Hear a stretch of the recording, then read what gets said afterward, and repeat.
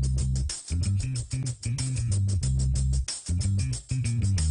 Right, welcome back to Daytime Tri Cities. Once again, we are live this morning at TVA Credit Union Ball Field, right here celebrating the Johnson City Doughboys.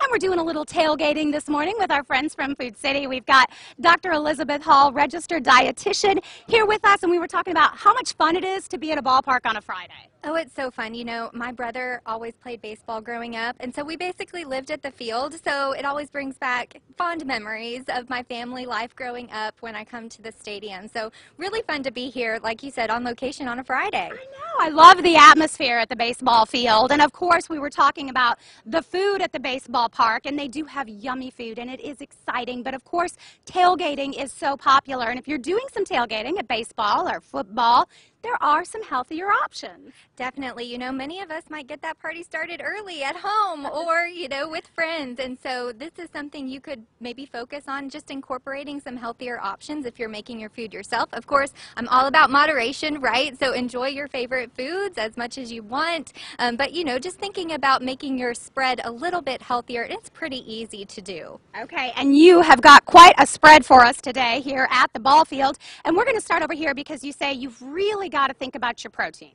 Yes, so that's one of the easiest changes to make. You know, choosing a leaner protein source, you really can't tell the difference a lot of times, especially if you're using a delicious marinade and you're cooking it properly, right? So if you're talking about, you know, chicken with the skin off, sirloin, uh, steaks, and things like that, or even fish and seafood, those are going to be leaner sources of protein, so less saturated fat. And then if you throw that on a marinade and maybe extend the marinade time a little bit longer, kind of helps to break down those proteins and make it a more tender cut of meat even though it's not actually a more tender cut of meat. So easy things to do with your marinade are some type of vinegar or something acidic like lemon juice or lime juice. I like to put a little olive oil in there and then whatever herbs and spices you want. Let that marinate for about an hour or so and you're good to go. And I love that you have the fresh lime there. I think that makes such a difference when we're grilling. Oh, it really does. It brings out those flavors, especially if you're using it in a marinade and then you actually squeeze them on top as well.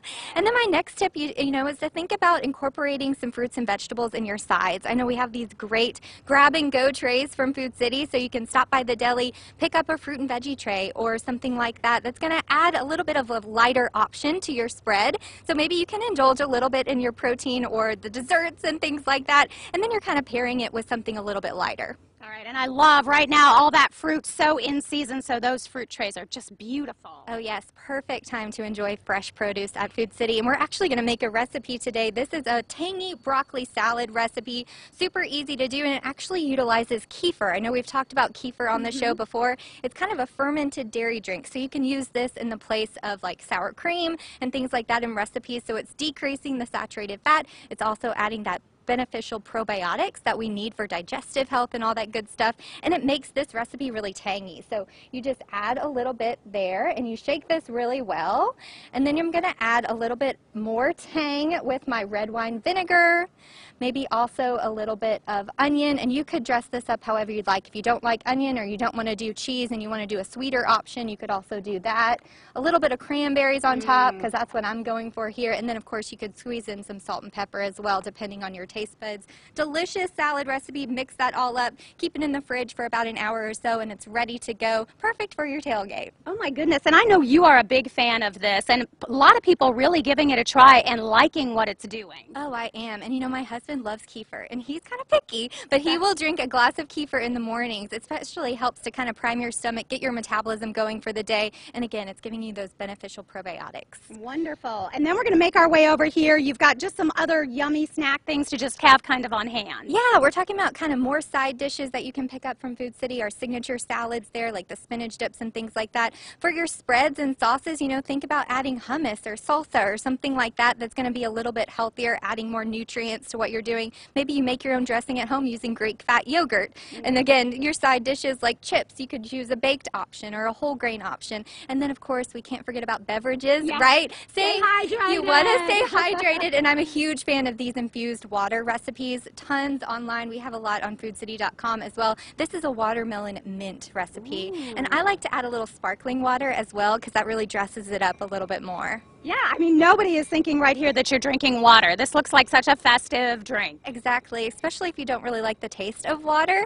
Right. It's kind of a great way to stay hydrated, but you know, you're still getting um, the delicious and hydrating feel of the water. Mm, you did a fabulous job. I love it. Some great tips. And as you mentioned, cue the train, foodcity.com, all these different recipes and different menu items as well. Definitely.